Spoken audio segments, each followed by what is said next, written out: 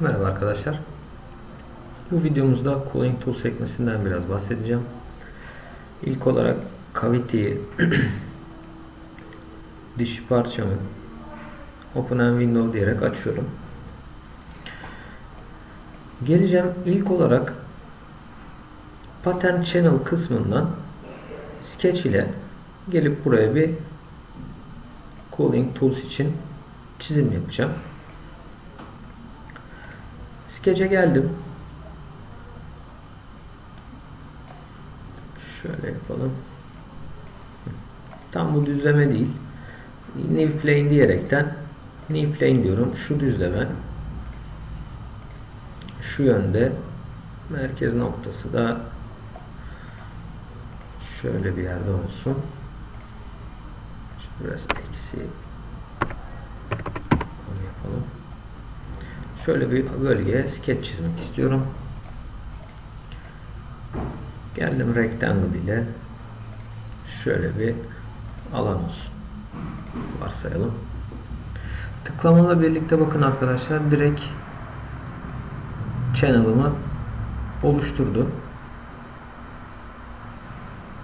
Bu channel'ı uzatmak isterseniz yapmanız gereken işlem extend channel ile işte atıyorum şuradan biraz uzatalım.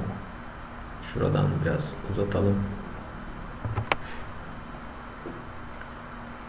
Channel'larımı uzattım. Extend ile. Channel'larımı oluşturdum. Şuradan Define Channel kısmından arkadaşlar ne tip soğutma olacağını buradan ayarlayabilirsiniz. Suyla, havayla, yağ ile işte atıyorum suyla olsun. Buradan channel'larımı istiyor. Channel'ları seçerekten bunları onaylayabilirim. Cooling Fittings kısmından da arkadaşlar suyun nereden başlayacağını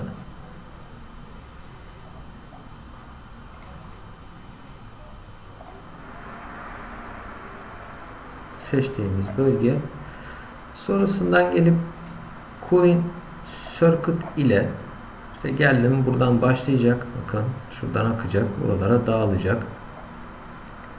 Apply. Buradan gelip devam edecek diyorum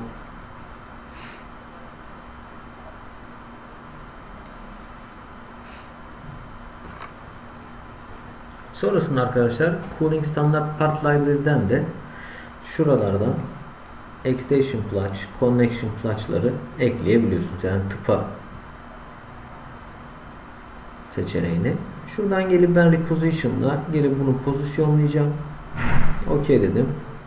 Nereden pozisyonlayacağımı soruyor. Diyorum dairenin merkezinden.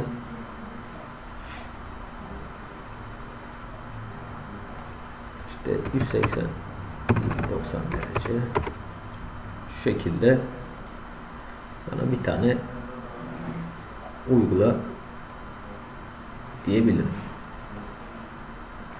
Sonrasında gelip bunu